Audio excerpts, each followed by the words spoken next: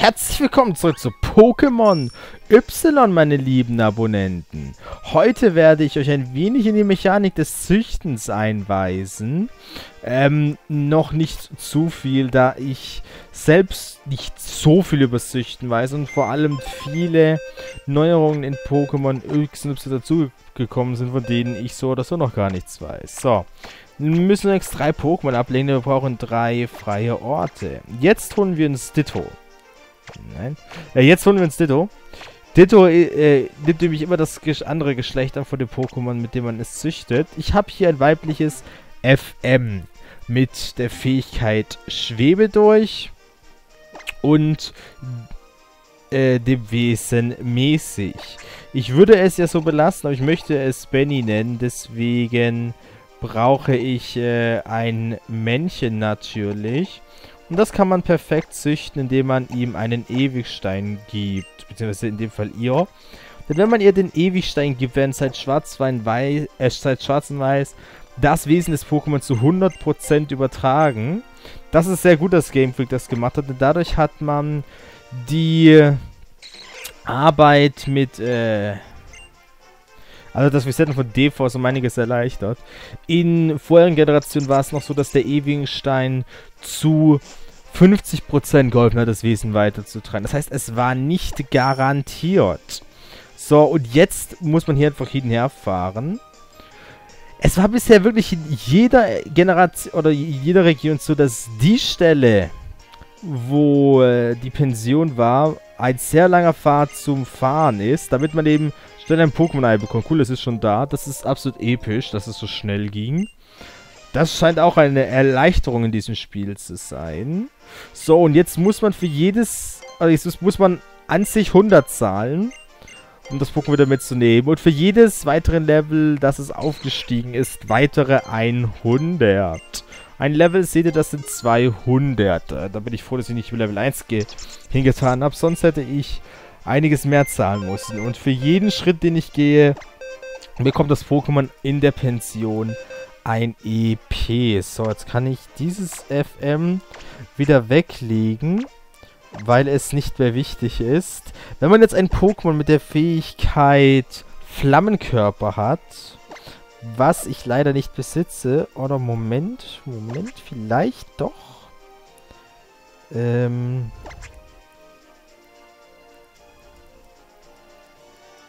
Ja, wobei, es sieht schlecht aus. Ja, wenn ich eins hätte, dann würde es auf jeden Fall einfacher gehen und schneller gehen. Der hat es ja nicht, der hat Völlerei, ja. Äh, Anspannung. Au, da haben wir doch. Dartingi, Dartignis hat Flammenkörper, super. Pokémon mit Flammen, wenn man ein Pokémon Flammenkörper im Team hat, wird das Ei nämlich doppelt so schnell aufgezüchtet. Und ähm, um das Ei jetzt ausbrüten zu lassen, muss man einfach hier die ganze Zeit hin und her fahren. Wie ist das in jeder Generation so, dass das relativ einfach geändert wurde. Generation 2 bei Ducatia City war ein riesiger Weg. In Generation 3 zwischen Malfro und Wiesenflur konnte man eine ewig lange Strecke fahren, wo man und ich auf den Screen schauen musste, einfach nur den Knopf drücken musste. In Sinnoh ähm, bei Elises war es das gleiche. Meine. Das war nicht Elise, das war, das war Trost, du. Weiß ich jetzt gar nicht mehr genau. Ähm, und ja, in Einal. In Einal war es im Prinzip auch so auf der Route 3. Oder war es ein bisschen. Äh, da war es ein bisschen kürzer. Aber gut, Leute. Ich melde mich dann gleich wieder, wenn das Pokémon geschlossen So, Leute, ich habe mir gedacht, ähm, ich könnte das eigentlich auch sinnvoll verbinden. Nämlich, indem ich gleich die Stadterkundung hier von äh, Mosiah mit einbeziehe. Da laufe ich ja auch viel rum. Deswegen werde ich jetzt erstmal diese Stadterkundung fertig machen. Und dann anschließend kann ich mich in Ruhe um das Icon, mehr oder weniger in Ruhe, sagen wir es so, mehr oder weniger in Ruhe. Aber jetzt erkunden wir erstmal Mosiah oder Mosaia, würde ich sagen. Hier komme ich wieder raus zur Route, oder? Yep, Route 18, Valley Eteux Weg oder so.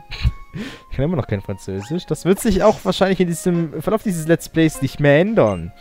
Mosaia, ein Schmelztiegel voller Gegensätze.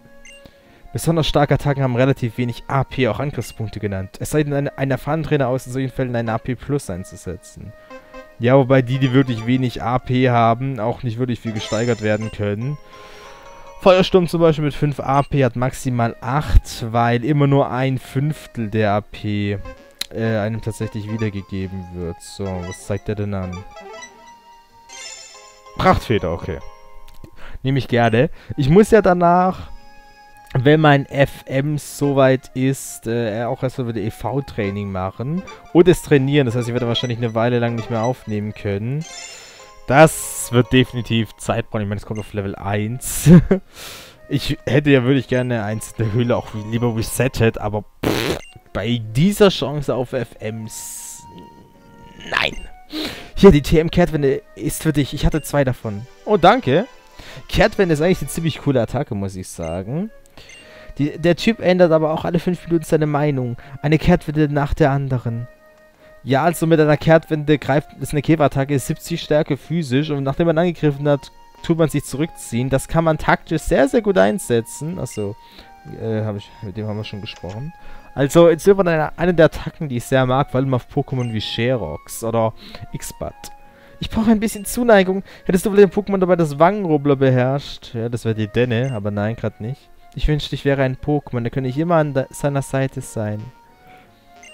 Ich liebe die Fähigkeiten Krieger im Fernsehen. Ich, äh, ich liebe den Fähigkeiten Krieger im Fernsehen. Ich möchte auch eine Pokémon-Fähigkeit haben. Oh, Wandl Wandlus Wandl Wandlungskuss. Sorry. Eh, gut. Bist du mit der Fähigkeit vertraut, die Pokémon daran hindert, aus dem Kampf zu fliehen? Ja, Wegsperre. das Tolle ist, dass diese Pokémon, diese Fähigkeit keine Wirkung bei Geist-Pokémon zeigen. Ach so? Okay. Jetzt so Gengar mit Wegsperre war schon äh, eine krasse Idee, weil vor allem im CP ist Wegsperre absolut krass. In man das natürlich nicht so, aber wenn man die Gene da daran verhindert, sein Pokémon zu wechseln, ist das schon absolut böse. Ich mag die Geschichte von dem Carpador, das einen Wasserfall nach oben geschwommen ist. Was war denn das für ein Carpador zum Teufel? So. Achso, da oben war ich schon. Und diese Zugschienen, die wissen aussieht wie der Magnetzug in Johto. Hallo! Hm? Achso, hallo. Hi. Ich muss mich für Flodellis entschuldigen. Was er getan hat, ist wirklich unverzeihlich. Wer hätte schon der können, dass er so ausrastet. Ich würde dir außerdem noch von Herzen danken. Im Namen all der Pokémon und all der Menschen auf dieser Welt, deren Leben du gerettet hast. Da du Team Flair aufhalten konntest, hast du auch Flordelis gerettet. Ich wusste, dass er davon träumte, eine Welt der Schönheit zu kreieren. Vielleicht gibt es eines Tages ja wirklich so viele Pokémon und Menschen, dass die Welt, die sie beherbergt, an ihre Grenzen stößt. Wenn in einer solchen Welt auch nur ein paar Bewohner von Gier getrieben werden, bleibt für andere wenig übrig. Dies würde irgendwann so weit führen, dass alle Nährstoffe aufgebraucht wären. Und zwar bis zu einem Punkt, an dem man nicht mal mehr etwas stehlen könnte. Ich hatte gehofft, Flodellis würde sein Ego hinten anstellen und die Welt in eine Zukunft führen, in der wir uns alle gegenseitig dazu antreiben, neue zivilisatorische Höhen zu erreichen. Ich habe jedoch nie mit ihm darüber geredet, weswegen ich wohl auch zum Teil für die ganze Situation verantwortlich bin. Ach, ich bin auch in Kante starten, da passt es schon. Nein, nein, genug davon.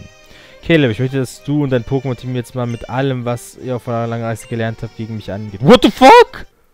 Ich, ich, ich hab doch mein... Ich hab doch nur drei Pokémon in meinem Team dabei. Okay, dieser Kampf ist so überraschend, wie er ungelegen ist, weil ich, wie gesagt, äh, viele Team-Pokémon nicht dabei habe. Immerhin habe ich Gardevoir vorne, das ist Vorteil trotzdem. Ähm, gut, egal. Psychokinese auf jeden Fall. Da hätte ich hier auch mit Gedanken gut anfangen sollen, um mich jetzt noch ein bisschen aufzupowern, aber ich glaube, das passt auch so. Dieser Flor erledigt und jetzt kommt Turtok. Das lasse ich jetzt mal. Und danach kommt Glura. Ich kann beide mit Donnerblitz erledigen. Ich gehe geh aber einmal auf Gedankengut weil Donnerblitz eben keinen Stab beinhaltet, um hier wirklich auf Nummer sicher zu gehen. So, Schädelwumme. Da muss ich jetzt aufpassen. Ja, die Verteidigung steigt. Aber vor allem trifft es meine schwächere physische Verteidigung. Deswegen stirb. Yes.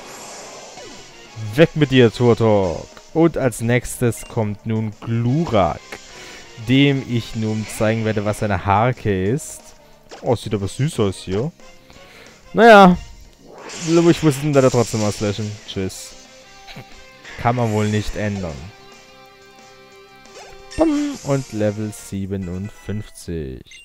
Dieser Flur steht ja immer noch verdammt hinten dran. Ich hoffe, der kann in der nächsten Route ein bisschen mehr kämpfen. Großartig. Jetzt habt dein Poke-Team und eure gegenseitige Zuneigung zu einer starken Verbindung geführt. Das ist das Geheimnis eurer Stärke im Kampf. Dankeschön. 7000 Poké-Dollar gewonnen. Cool. Ich kann wirklich nur staunen, wie stark du doch geworden bist. Man spürt, wie sehr du deine Pokémon liebst und wie viel Vertrauen du ihnen entgegenbringst. Caleb, ich habe in dieser Stadt einen Schatz versteckt. Wenn du willst, kannst du ja danach suchen. Wie dem auch sei, ich muss dann wieder los. Ich bereite nämlich gerade eine Überraschung für euch vor. Immerhin habt ihr euch tapfer Team Flair gestellt und ganz Carlos vor dem Untergang bewahrt. Ein Schatz? Gut, dass ich mein Itemradar draußen habe. Den, den möchte ich finden. Ein Fotoalbum kann Erinnerungen an aufregende Zeiten wieder aufleben lassen. Auf ähnliche Weise hat man in Frescora die Möglichkeit, die Erinnerungen der Pokémon an Attacken, die sie einst beherrscht haben, wieder aufzufrischen. Ja, gerade im letzten Part gemacht. Jetzt kommt sie damit. Welches Pokémon hast du dir zu Beginn deiner Reise als Partner ausgesucht? Froxy. Ah, Froxy also. Dann zeig mir doch mal, wie es um dein Wissen über Foxy bestellt ist. Also ist Froxy 0,4 Meter groß. Sehe ich sonst ich das? Nee. Richtig, gut, nächste Frage. Wiegt Froxy 7 Kilo? Nö. Oh, fuck. Äh, gut, dann nochmal. Aber es wird ja seit ich 7 Kilo, okay. Interessant. Ich glaube, weißt du, gefällst mir hier, das ist für dich. Okay, Zauberwasser.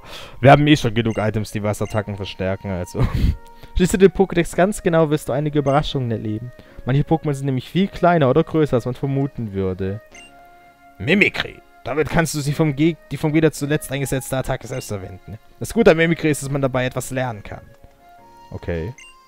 Was warst du schon mal im Illumina Kunstmuseum? Ja, Kunstmuseum war ich schon. Ähm, was haben wir hier? Tipps für Trainer. Wenn du mit dem Item Honig oder der Attacke Lockt auf Pokémon äh, anlocken kannst, treten diese in Rudeln auf. Das ist äh, immerhin, macht Honig und Lockduft wesentlich nützlicher, als es zuvor waren. Okay, Fotoschild. So, jupp, ich möchte ein Foto machen. Wahrscheinlich vor diesem Haus da, oder? Nee. Oh, Cool, so sehe ich den Pokéball da hinten. Hätte ich sonst gar nicht gesehen, glaube ich. Den möchte ich haben. Ähm. Nein. Er wird von mir kein Trinkgeld kriegen. Das kann erst sowas von knicken. Oh, okay, ich muss nicht mehr surfen. Super, Top-Trank. Aber hier scheint irgendetwas äh, sich zu verstecken. Übrigens, gerade wirst immer wieder auf. Faule Socke. Äh... Hallo? Achso, hier. Schönschuppe. Wow, halt. Die versteckte Schönschuppe. Okay, damit kann man Barschwatz zu Melotik entwickeln. Dieses Tafelwasser ist eine Spezialität aus Mosaia. Wir berechnen 300 pro Flasche, pro, pro, pro Flasche interessiert. Nein, danke. Ich habe ja schon äh, Sprudel, das reicht mir. Ist auch besser als äh, das andere. So, ich habe Sasuke nicht dabei. Okay, egal, was haben wir hier drin? Herzlich willkommen Hotel Mosaia. Hi, du da mit dem Pokédex hier, mach jetzt ein Quiz mit dir. Was freut ein Scampist du wie eine Pistole ab, wenn es die körpereigene Gase explodieren lässt? Wasser. Und das ist richtig, ist dein Preis. Oh, Siedewasser. Die, die Attacke ist geil. 80 Stärke. Jetzt nur 10 schwächer als Surfer und hat Chance auf Verbrennung. Man muss sich die ganzen Dinge, die so im Pokédex stehen, nur mal bildlich vorstellen. Dürfen sich an ganz neue Perspektiven. Und wie ihr wisst, Verbrennung tut den Angriff halbieren vom Gegner. Vor tausend Jahren soll Carlos von dichtem Urwald bedeckt gewesen sein. Aber natürlich Feuer-Pokémon, auf die man das wahrscheinlich einsetzt, können nicht verbrennen. Dafür kann man damit Gestein- und Boden-Pokémon richtig ärgern. Es soll ein Wasserfall geben, dessen Wasser in die entgegengesetzte Richtung fließt. Das würde ich so gerne mal mit eigenen Augen sehen. Was fällt dir als erstes ein, wenn du das Wort Wasserfall hörst? Es ist unglaublich, wie viele verschiedene Antworten man auf diese Frage bekommt. Los, überzeug dich selbst davon und frag einfach mal deine Freunde. Gut, Leute, dann werde ich jetzt diesen Part. Wenn euch gefallen hat, Daumen hoch, wenn nicht Daumen runter. Und das nächste Mal geht es mit Pokémon Y hier weiter. Bis dann.